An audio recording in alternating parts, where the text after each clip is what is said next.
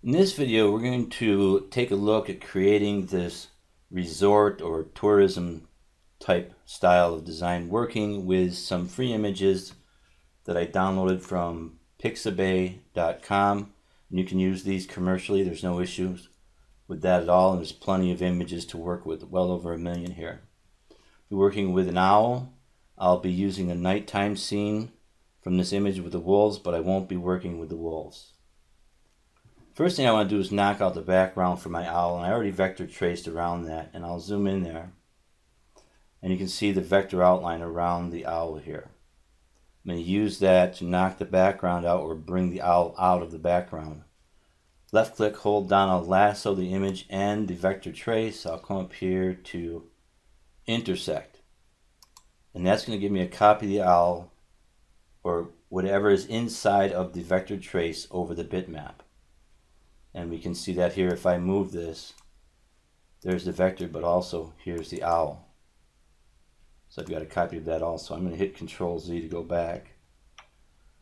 And uh, that's the curve. I'll hold down Alt. Now if you hold down Alt, you can select the object behind the object that you have selected. So I'll hold down Alt, go to the center X in the owl, left click, hold down right click one time, and I'll get a duplication of the owl.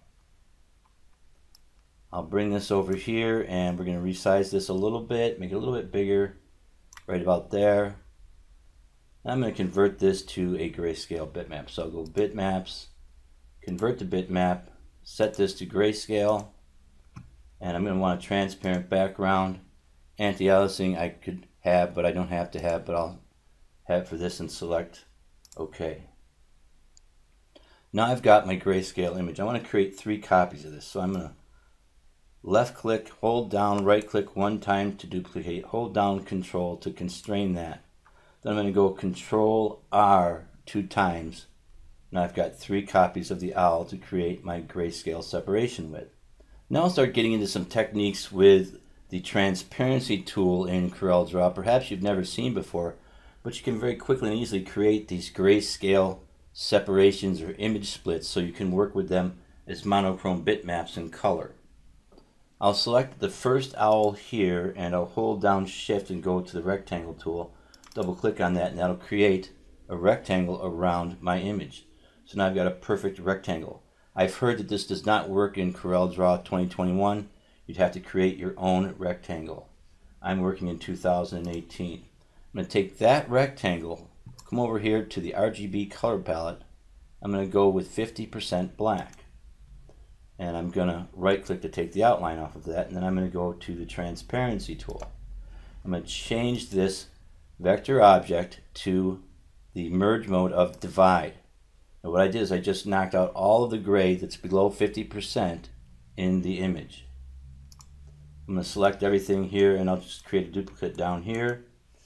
I'll go bitmaps and I'm going to go convert to bitmap and I'll go with the grayscale here again and select OK. I can turn off anti-aliasing and that'll be fine and I won't need transparency. That'll be fine. OK. Next I'll take this copy of the owl, left click, hold down, right click one time and I'll duplicate that down here. I'm going to create a duplicate of this version of the owl. Left click, hold down, duplicate on top here. Hold down shift and then I'll hit C and E on my keyboard to center those. I'm going to click off, select the owl that's on top. I'm going to go to Effect, Transform, Invert Colors. Go back to my Transparency tool. Here I'm going to change the merge mode to Screen. Now you can see that's knocked out all of the black that was above the 50% point. So now I have black and gray. I'm going to use this image to create my white base or my white for the grayscale split. So I left click, hold down, right click one time, duplicate here. And to make that the white, I'm just going to go to Effects, Transform, and Invert Colors. And that will now be the white. And you can see that as it is here in the grayscale. The black is where the white is. Now if I wanted to, I could use this image to screen the white out here, but we won't bother with that in this session. I'm going to zoom out and I'm going to take this image because I know this is still two objects, bitmaps, convert to bitmap, and that'll be okay. This is ready to go, it's just one object, and that's ready to go, that's just one object. Now I'm going to start converting these images to monochrome bitmaps. I'm going to do that through my Simple Steps and using the tools that I have there. Simple Steps is so much more than just ripping software. It's all kinds of tools for color separation, and I use it for design also. If I want to start designing with monochrome bitmaps, I'll go to Tools, and I'm just going to lasso these three images, and I'll move them down here. And I'll start with the black here, and we'll do a normal conversion and let that process. Go to the gray, normal conversion, let that process. Go to be my white base, normal conversion, let that process. Then I'll take all of these images here. This is going to be my white. I'm going to go ahead and just make that red for now so I know what it is. And I'll left click here in the X. That's a right click, by the way, for the foreground color. Left click for the background color when you're dealing with monochrome bitmaps. Same thing here. I'm just going to left click that and I'll bring this over here. It'll be on top of the red. I'm going to take the black. Bring this down here, duplicate that. I'm going to come up left click for a transparent background and I'll bring that over here. Now lasso these three and then I can hit C and E. Then we can see we now have a grayscale separation or split of the owl ready to go here in Corel Draw. Now that red of course is the white. Now if I want to change the colors I can select the black. I'm not going to want to change that. If I hold down Alt I'll select the object behind it. That's going to be where the white was and then there's another black. So I'm out of order here a little bit. I want to go to the object docker which is not here so I'll go to window Dockers, Object Manager. I want to look here and see what these bitmaps are. That's black, that's red, that's black. So this red, I'm just going to left click, hold down, pull that through the Object Manager down to there. And there's the owl. Now I can change that with a right click to a white. Go to this bitmap and I can change that with a right click to the 50% gray. And now we can see we have our grayscale owl set up in Corel Draw. I'm going to bring a copy of our actual design over here. We'll start working with that and I'll bring the nighttime image with the wolves over here also. I'll use my center mouse wheel and zoom in here. I'm just going to create a black rectangle to go around my owl for my design. I'll fill that with a black and then I'll just right click and I'll go order and to back a page. Then I'm going to bring in my wolves image here. And I'm going to make that a little bit bigger. I'm going to make that about as big as the owl. In this I'll just right click and I'll go to order and I'll select in front of. You can't see it but it's here and I'll click on the black rectangle and there it is. I'm going to want to mirror that horizontally and make it right about the size of the owl and I want to get that moon in there behind the owl. Just like we can see, kind of like right there. I got that black monochrome by accident. I'll hit Control Z to move that black. Make sure I've got this. We'll bring this up into here. Say right about there. We can make this actually quite a bit bigger when we want to crop it, but I'm actually going to make it bigger and we'll crop that and bring that over here to size right there. And then I'm going to go to the crop tool and I'm going to start right about here and go to right about there. Bring that down right to the top of the owl and bring this up into the bottom of the tree. Then I'll just double click in here and I'll have that cropped. The next thing I want to do with that is I'll go to bitmap mode and then I'm going to go to grayscale.